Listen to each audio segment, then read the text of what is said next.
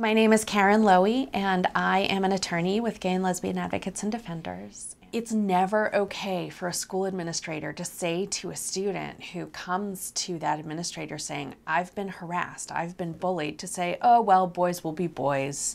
You know, these things are just part of growing up. Grow, grow a tougher skin. Stop acting so gay. Stop being who you are. You're bringing this on yourself. Those are not okay responses. It's the school's obligation to keep you safe, and you have tools that you can use that the law gives you to advocate. You can remind the school that it is their job to respond to harassment based on sexual orientation, based on gender identity or expression, or even because the people who are harassing you think you might be LGBT. It's the school's obligation to respond to that kind of harassment the same way they respond to every other kind of harassment. It's their job to keep you safe. Hi, my name is Jamal Brown, and I'm a legal assistant at GLAD. For much of my life, I knew that there was something different. I knew that I was gay, but I didn't have a word for it. However, I knew that what I was, what I am, wasn't socially acceptable. I know I knew that it was immoral, or at least immoral based on what I was told and what I was to believe about myself, my identity.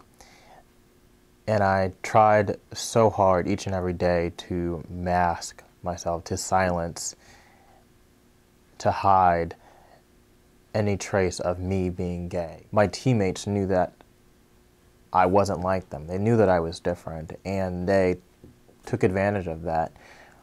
There were times when I was called a sissy, I was called fag, I was called queer, I was called gay, and that had such a deep impact on me that I struggled at times to love myself. I, I struggled to the extent that I did have suicidal thoughts, and I almost got to that point where I didn't want to live.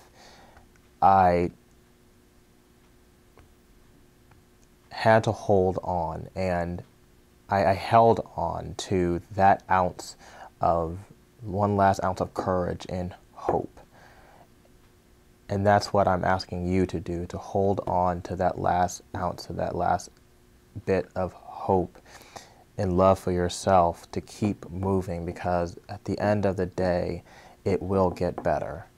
I'm living proof that it does get better because you get stronger. There are people out there just like you who experience this or have experienced this and are waiting for you to get to that point and want you to get to that point where you love yourself so that you so that they can join you and they can be there for you.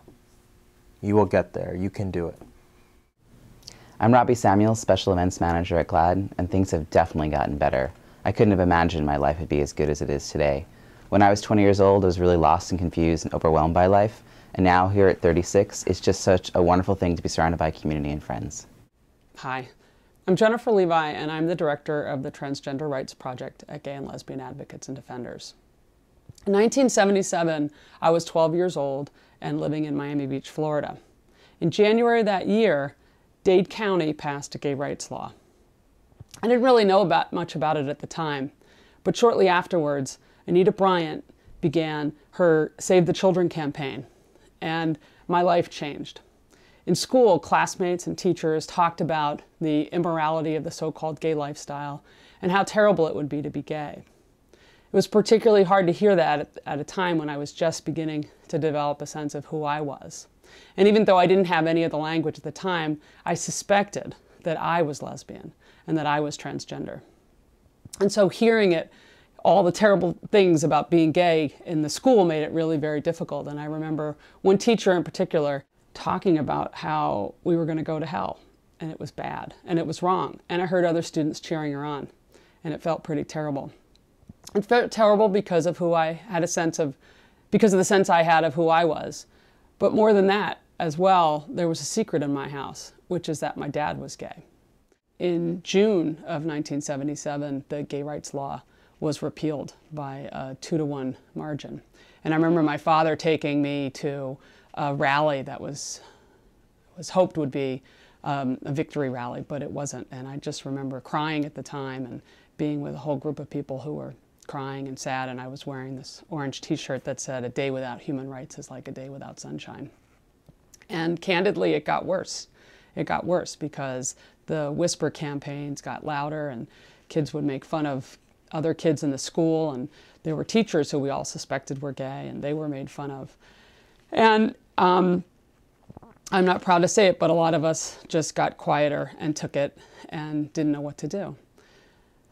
But it does get better, and it got better for me. It got better as soon as I really got out of, of that school, and um, now I get to represent gay, lesbian, bisexual, transgender people. I can proudly stand in front of a judge and um, say that it's wrong. It's wrong for kids to pick on other kids, and there's laws that protect us.